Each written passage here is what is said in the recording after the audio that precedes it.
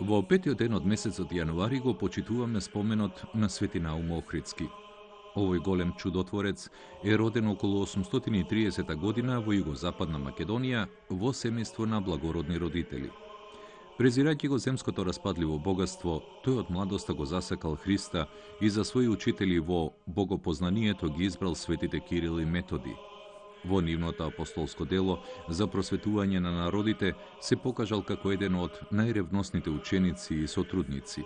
Со нив действувал и во Рим, каде што се прославил со својата ученост и познавањето на многуте јазици.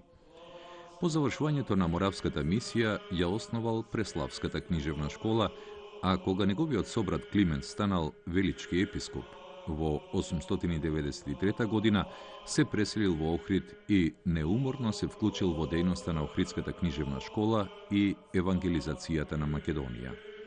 Авторските книжевни и химнографски дела го откриваат како богослов со длабоко познавање на Библијата, православната теологија и црковната историја.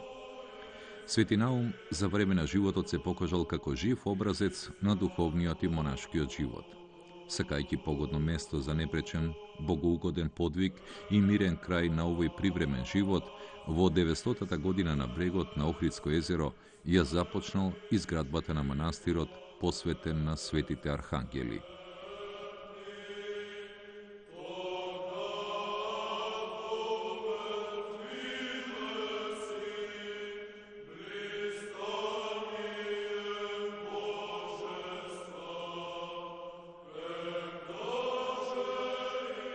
се упокоил во својот манастир во 910 година, каде што лично Свети Климент со почести го погребал.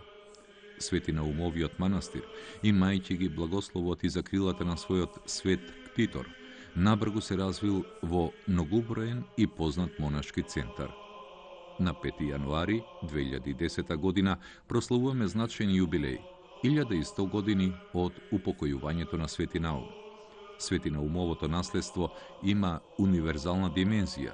Тој е духовен татко и вдахновение на монасите во Македонија, неговиот гроб со чудотворните мошти за оние што со вера пристапуваат е просторот на многубројни исцеленија, а манастирот со црквата символ на обстојот наспроти историските бранувања. 5 јануари, ден на упокојувањето на Свети Наум Охридски.